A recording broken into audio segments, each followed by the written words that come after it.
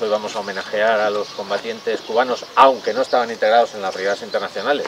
eran voluntarios internacionales. Aquí en Los Llanos fallecieron, me imagino que luego lo contará, fallecieron un capitán y un teniente de dos compañías de la 101 Brigada, que llevaba Pablo Matero Merino, que luego tuvo una evolución muy grande en el, en el Ejército Popular Republicano y fallecieron aquí justo en, el primer, en los primeros días en, en, los ataques y los contraataques a los llanos, que fue un punto de combate muy grande a lo largo de toda, de toda la batalla. Estamos en los llanos, este es el, posiblemente el primer lugar donde se combatió en la batalla de Brunete, eh, que a su vez es la primera gran ofensiva del Ejército Popular que había sido creado pocos meses antes, en, en, el invierno, en el paso de año del 36 al 37, en los primeros meses del 37 se crean las 10 primeras divisiones del Ejército Popular. Proporcionalmente a su población, Cuba es el país que más voluntarios aporta a, a la lucha en España. El país que más voluntarios en volumen total aporta es Francia, lógicamente, por la distancia y por el, la, el tamaño del país, pero proporcionalmente a su población global, el país que más voluntarios aporta es Cuba. Según el libro Voluntarios Cubanos en la Guerra de España, eh, del 36 al 39, eh, alrededor de 1.200. O sea, el, era la cifra que, que, manejan ahí de voluntarios cubanos. Es verdad que hay muchos anónimos, eh, héroes anónimos que perdieron la vida, hay otros participantes que, que son más reconocidos, que de renombre, pero lo que sí no hay duda es que el valor y la solidaridad y el internacionalismo proletario mostrado por muchos jóvenes eh,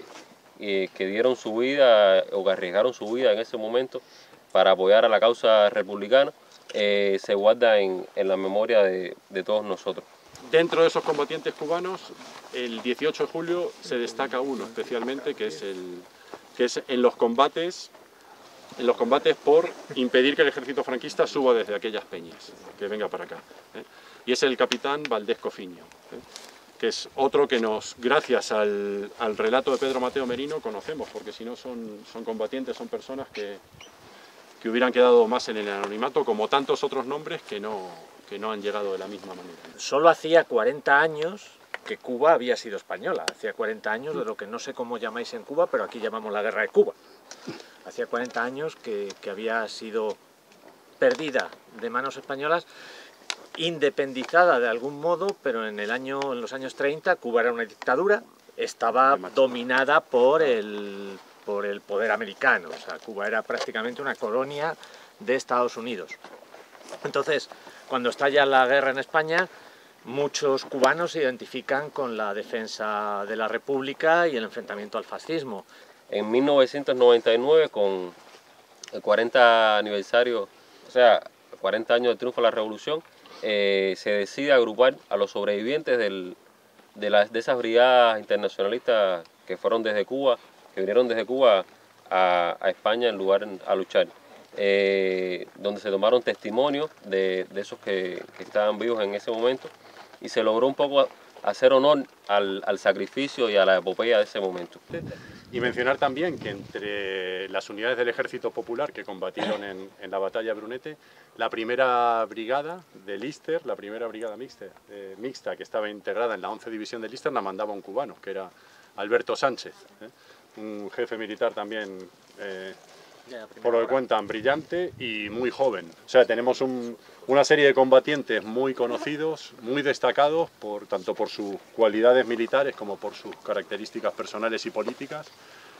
claramente que vinieron de Cuba, que son Alberto Sánchez,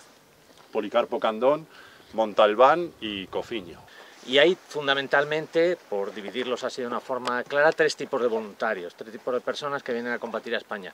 Por un lado, los exiliados, personas que habían sido expulsadas de Cuba por la dictadura y que vinieron a España porque algunos incluso ya estaban en España, como el caso de Pablo de la Torriente o de Policarpo Candón, que ya estaban en España antes de estallar la guerra y se unieron al ejército republicano. La mayoría de estas personas, de estos voluntarios, se integran en brigadas españolas normales, se integran en columnas, se integran en, en las primeras unidades, en las primeras unidades de milicianos y luego pasan al ejército popular a unidades normales. Luego está la emigración cubana que había surgido en los años 20, 30 por necesidades económicas que estaba distribuida por el mundo, igual que el exilio, y que deciden venir a España. Y finalmente hay gente que viene de Cuba a eh, luchar a España, que esos tienen más dificultades, es difícil salir de Cuba para venir a España porque no deja la dictadura, pero son parte de la oposición que estaba en Cuba que vienen a luchar a España. La, la, historia de nuestro país se caracterizó en, por recibir ayuda de muchos países. O sea, en la guerra de independencia, Cuba recibió eh, combatientes hasta de China, de África, de Estados Unidos, América Latina, de España, eh, que creían en la independencia de Cuba. Y la mejor forma de, Cuba eh, pagar esa deuda con, con la humanidad ha sido el internacionalismo no solamente desde el punto de vista militar, eh, sino también desde el punto de vista médico, político, diplomático, social, y se puso de manifiesto aún cuando la revolución cubana no había triunfado en, 1936. por eso me parece que si, hubiese tenido lugar después del 59, hubieran venido muchos más cubanos a, luchar a,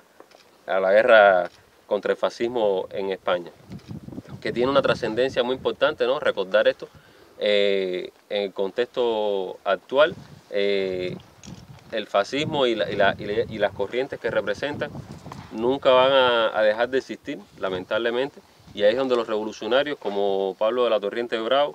y como el, resto de los, de los cubanos, franceses, españoles y otros internacionalistas que dieron su vida eh, en, esa, en esa guerra, eh, hay que recordarlo, o sea, para que, no, para que su muerte no haya sido en vano.